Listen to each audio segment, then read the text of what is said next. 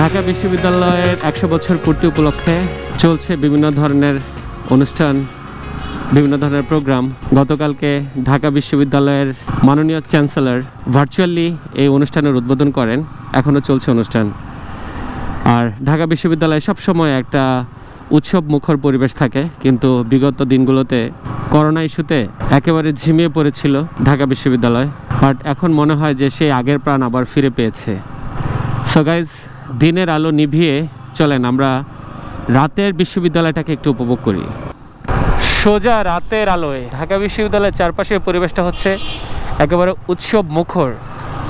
গত কয়েকদিন ধরে এই পুরো ঢাকা ইউনিভার্সিটিকে ডেকোরেশন করা হয়েছে। চারপাশে লাইটিং, বিভিন্ন ধরনের কালারফুল লাইটিং, এই যে ভিসি চত্বর এবং চারপাশের দেয়াল, গাছ, প্রত্যেকটা জায়গায়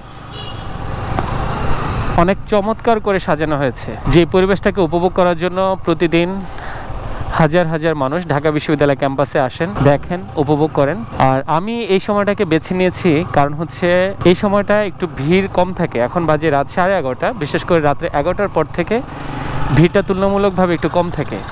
আর অন্যান্য সময় এই রাস্তার আইল্যান্ড থেকে শুরু করে প্রত্যেকটা রাস্তায় প্রচুর মানুষ থাকেন এবং অনেক ভিড় হয়। তো সেই তুলনায় রাত্রে এগারোটার পর থেকে ভিড়টা আস্তে আস্তে কমতে থাকে। তবে গতকালকে প্রচুর ভিড় ছিল, কারণ গতকালকে ছিল শুক্রবার। শুক্রবার এমনিতেই ফ্যামিলি যারা অফিস করেন, সবাই একটু সময় পান বের হওয়ার জন্য।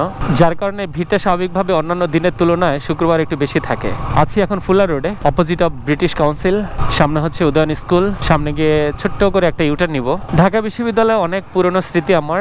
সেই দুই সাল থেকে ঢাকা বিশ্ববিদ্যালয়ের সাথে ইনভলভ বহুদিনের বহু কথা, বহু আড্ডা, বহু গল্প, বহু ধরনের স্মৃতি জড়িত এই ঢাকা ইউনিভার্সিটিতে। আপনাদের সবার পছন্দের মোটো ব্লগার সানিগিরি ওরফে সাইফুল্লাহ সানি। সেও ঢাকা বিশ্ববিদ্যালয়ের স্টুডেন্ট এবং সে এখন অধ্যয়নরত, যদিও আমার পড়াশোনা শেষ আরও অনেক আগে। সানিগিরির সাথে বেশ কয়েকবার আমি আড্ডা দিয়েছিলাম ঢাকা বিশ্ববিদ্যালয় ক্যাম্পাসে। খিচুড়ি খাওয়ানোর জন্য নিয়ে এসেছিল টিএসসিতে অ্যান্ড তার হলে গিয়েও সে আমাকে ফ্রেশ জুস খাইয়েছে। এবং বিশেষ করে কয়েকজন moto blogger Saifullah Sunny I mean Sunnygiri rider Sana next gear.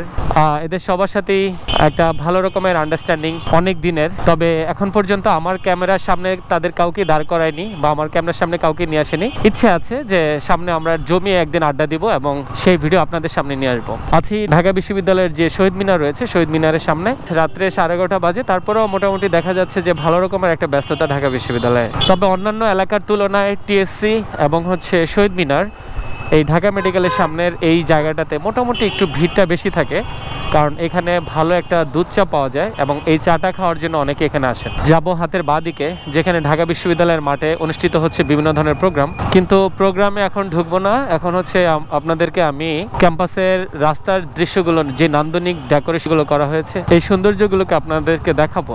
এই বিশ্ববিদ্যালয়ে যেমন অনেক মধুর, অনেক সুন্দর, অনেক ভালো ভালো কিছু স্মৃতি এবং অনেক সুন্দর কিছু মুহূর্তের সাক্ষী ঢাকা বিশ্ববিদ্যালয়। একই সাথে কিছু বিষাদ, বেদনারও সাক্ষী এই ইউনিভার্সিটি।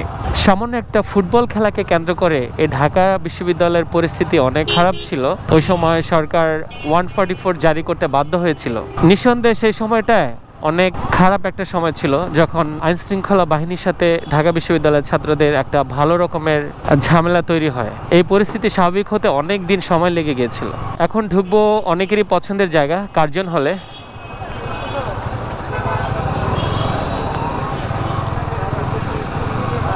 ছাত্র এবং অছাত্র যারা আছেন ঢাকা বিশ্ববিদ্যালয়ে, তারা একবার কার্জন হলে ঢু না মারলে কারোই ভালো লাগার কথা না। কাজেই যারা আসেন একবার কার্জন হলে এসে ঘুরে গেলেই তবেই তাদের ঢাকা বিশ্ববিদ্যালয় ভিজিটটা সম্পূর্ণ হয়। তবে যারা ঢাকা বিশ্ববিদ্যালয়ের স্টুডেন্ট, তাদের কাছে আমার এই ভিডিও বোরিং লাগতে পারে, কারণ তখন ব্যাপারটা হয় এক ধরনের মার কাছে মাসির গল্পের মতো। কিন্তু যা, আমার ভিডিওটি বেসিক্যালি হচ্ছে যারা ঢাকা বিশ্ববিদ্যালয় ক্যাম্পাসে কখনো আসা হয়নি বা যারা কখনো আসেননি এখানে, তাদের জন্য। যাদের অনেক দিনের ইচ্ছা, এখনও বাংলাদেশে হাজার হাজার ছেলে মেয়ে আছে যাদের স্বপ্নের একটা জায়গা ঢাকা ইউনিভার্সিটি, একদিন ঢাকা বিশ্ববিদ্যালয়ে ভর্তি হবেন, পড়াশোনা করবেন, স্বপ্নের ক্যাম্পাসে বিচরণ করবেন, স্বপ্নের ক্যাম্পাসে নিজেকে মেলে ধরবেন। আমারও ইচ্ছে ছিল একটা সময় যে ঢাকা বিশ্ববিদ্যালয়ের ছাত্র হয়ে এখানে পড়াশোনা করব বাট আনফর্চুনেটলি সেই সুযোগটা আমার হয়ে ওঠেনি।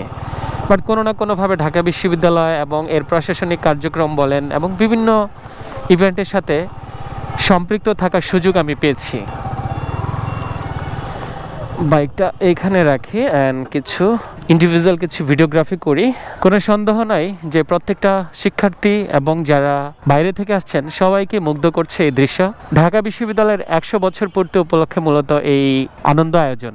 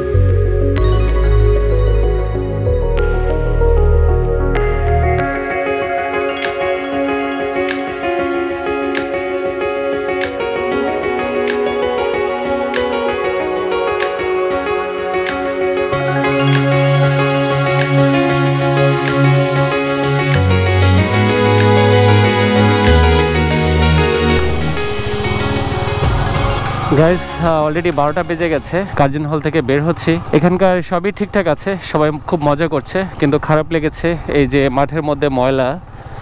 অনেকেই যারা ঘুরতে এসেছেন, খাবার খেয়ে, প্যাকেট, টিস্যু, এটা সেটা, সবুজ ঘাসের উপর ফেলে গেছেন। এটা আসলে দেখতে খুব বিশ্রী লাগছে এবং খারাপ লাগছে দেখতে।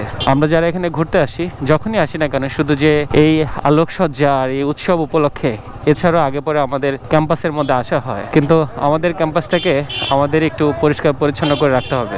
একটু গুছিয়ে রাখতে হবে। কারণ বিভিন্ন জায়গায় দেখা যায় যে যে পলিথিন, টিস্যু, বক্স, এটা সেটা বিভিন্ন জায়গায় ছড়িয়ে ছিটিয়ে ফেলে রাখা হয়েছে। তো যাই হোক, রাত বাড়ার সাথে সাথে মানুষেরও ভিড় কমে যাচ্ছে। অনেকে আস্তে আস্তে বিশ্ববিদ্যালয় এলাকা লিভ করছেন।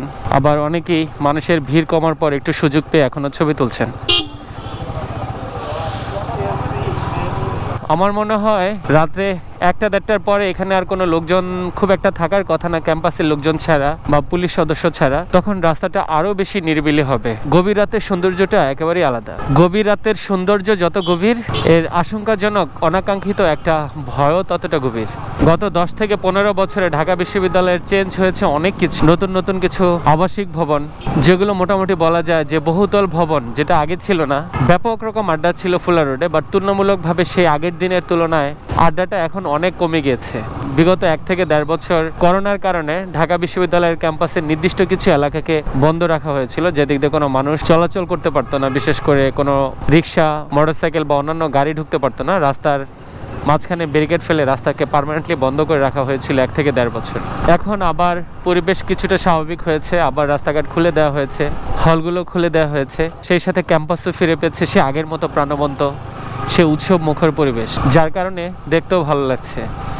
যে জনপদ মানুষের তৈরি, সেই জনপদে জনের পদ না পড়লে মানুষের পদচারণা না থাকলে সেটা কখনোই আনন্দের হয় না। তো গাইজ আমি আসছি পলাশির মোড় হয়ে সোজা নীলক্ষেতের গেট দিয়ে ঢুকবো। নীলক্ষেতের যে গেটটা সাজানো হয়েছে, সেই গেটটা একটু আপনাদেরকে দেখাতে চাই। ঢাকা বিশ্ববিদ্যালয়ের পাশাপাশি সোহরাওয়ার্দীতে শুক্রবার ছাড়াও প্রায় বলা যায় প্রত্যেকটা দিনই প্রচুর পরিমাণে লোকজনের সমাগম হয়, প্রচুর লোকজন আসে খেলতে, আড্ডা দিতে, গল্প করতে এবং অনেকেই হয়তো জানেন না যে সোহরাওয়ার্দী উদ্যানের ঠিক মাঝখানে যে গ্লাস টাওয়ার যেই একটা স্তম্ভ রয়েছে। সেই স্তম্ভের মাটির নিচে আরও তিনটা ফ্লোর রয়েছে, যেটা হচ্ছে স্বাধীনতা জাদুঘর নামে পরিচিত। যাই হোক গাইজ চলে আসছি নীলক্ষেতের, ঢাকা বিশ্ববিদ্যালয়ের নীলক্ষেত দিকের গেটটায়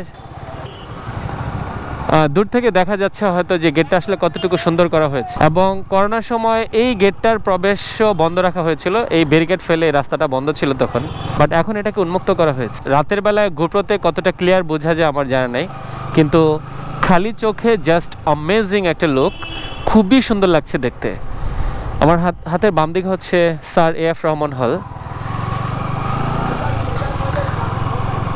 রাত যত বাড়ছে, ক্যাম্পাসটা ততই নিরিবিলি হচ্ছে এবং এর সৌন্দর্যটা ততই বেশি উপভোগ্য হয়ে উঠছে। শীতের রাত, আমি ভিতরে হালকা পাতলা একটা গেঞ্জির উপরে হচ্ছে এই উইন ব্যাকারটা পরে আসছি বাট আমি যখন কার্জন হলের ওইদিকে ভিডিও করছিলাম, আমি প্রচণ্ড রকম ঘেমে গেছি। আমার হাতের ডান পাশে হচ্ছে ভিসি চত্বর এবং এর মাঝখানে হচ্ছে ঢাকা বিশ্ববিদ্যালয়ের সবচেয়ে পুরনো এবং অনেক বড় একটা করই গাছ। তবে সবচেয়ে ভালো হতো যে এই করই গাছটার একদম মগডাল পর্যন্ত, একদম উপরে পর্যন্ত যদি এই ছোট ছোট লাইটগুলো লাগানো যেত, বিশেষ করে এই ল্যাম্পের মতো, হারিকেনের মতো যে লাইটগুলো আছে, এগুলো যদি লাগানো যেত, বিষয়টা দেখতে আরও অনেক ভালো লাগতো। আজকে মনে হলো শনিবার, তুলনামূলকভাবে গতকালকের চেয়ে আজকে কিছুটা নিরিবিলি থাকবে।